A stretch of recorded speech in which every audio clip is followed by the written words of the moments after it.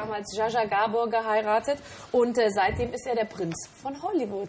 Und äh, als solcher ist er wirklich in die Annalen eingegangen. Und deswegen freuen wir uns ganz besonders, dass er heute bei uns ist. Frederik von Anhalt, herzlich willkommen. Männer sind Soldaten, die müssen kämpfen. Ach ja, wirklich? Aber Ja, kämpfen Sie doch. in Amerika?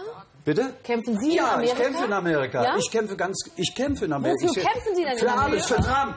There you go. Ach, für Trump? Ja, ja. Ach so, ja, dann Ja. sind Sie ja, dann sind Sie ja bald... Okay, was würde denn Und der... der Trump wird Präsident. Meinen Sie? Und die Leute müssen sich, da- die Leute müssen sich, da- die Leute müssen sich daran gewöhnen. Der Trump wird Präsident. Erstens mal. Äh, Dann äh, haben wir einen nächsten Krieg.